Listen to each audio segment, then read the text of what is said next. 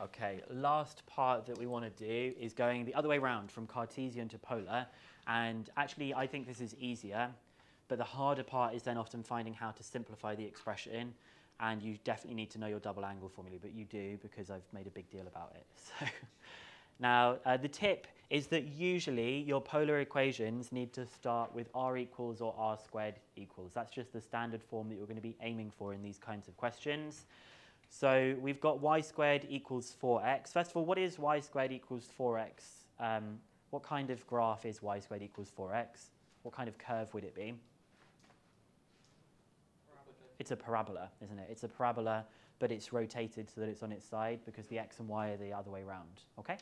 So all we do is you're going to replace y with r sine theta and square it. So you get r squared sine squared theta and x is just going to be 4 r cos theta.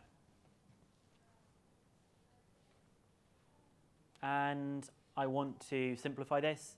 What can I do to both sides? Divide by r. So I'm going to get rid of the squared and the r. So then I have r equals 4 cos theta over sine squared theta. Cos theta over sine squared theta can simplify to what? Cot theta. Good. So it is 4 cot theta cosec theta. I'm happy with that because we don't have any x or y's in there. We have r as the subject with r equals. And it looks like in the kind of standard form you'd expect to see something, okay? You'd rather see cot theta cosec theta than cos theta cosec squared theta. We like that the cos theta over sine theta has been simplified to a cot theta there. And that's where we can stop with this one that we've got. Everyone got that down? Okay.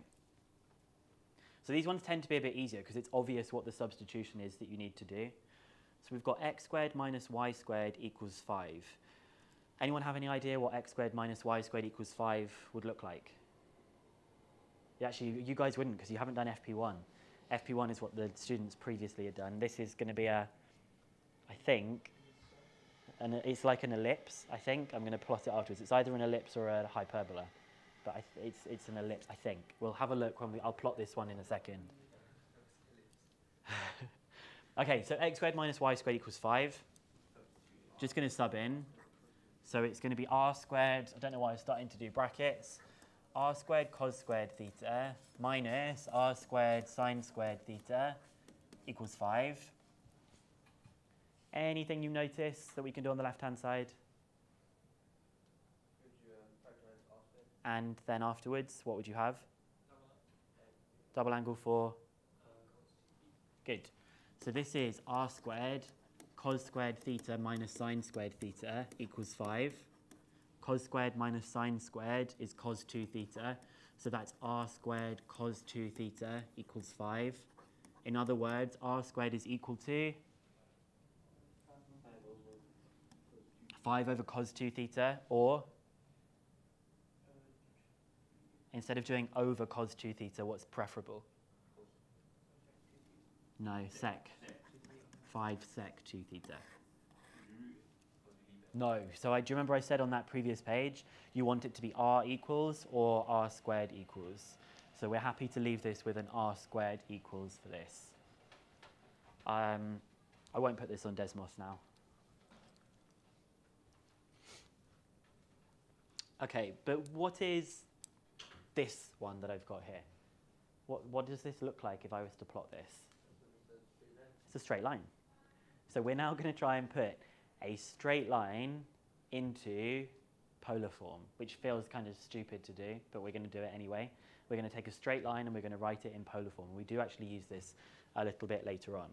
So we're going to have that y is r sine theta. So we have r sine theta multiplied by root 3 equals r cos theta plus 4, like this. And then I'm going to show you something that I'm not sure you'll necessarily spot, but this can pop up as something that will allow you to make it write it even neater than usual. So I'm going to subtract the r cos theta to one of the sides. so that we'll have r sine theta, yeah, I'm going to factorize, r sine theta root 3 minus cos theta equals 4.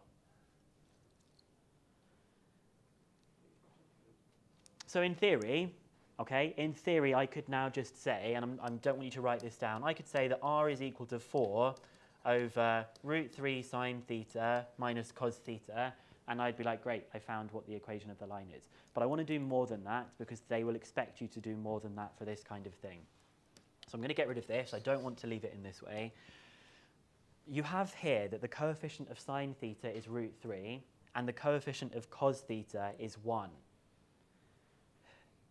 I don't know if I want to tell you or not. Could I do something to both of those to get some exact trig values that would pop up? Good. I'm going to divide both of these things by 2 to get some exact trig values, and I'm going to then see if you can spot what might happen next. So I'm just going to pull that root 3 over here. So I'm going to get root 3 over 2 sine theta minus a half cos theta equals 4. And I'm just going to come up here so I've got enough space. Uh, yes, because I divided both of these by 2. Sorry, you are absolutely correct. I should have divided that by 2 as well. And the reason you don't, the reason you don't have to divide the r by 2 is because then technically you would have been dividing that side by 4. So we don't need to do that. Um, now, what is root 3 over 2 and a half? For which one? So this is sine theta cos of pi over 6. So this is sine theta cos of pi over 6 minus cos theta what's the half in terms of sine pi over 6? Is equal to 2.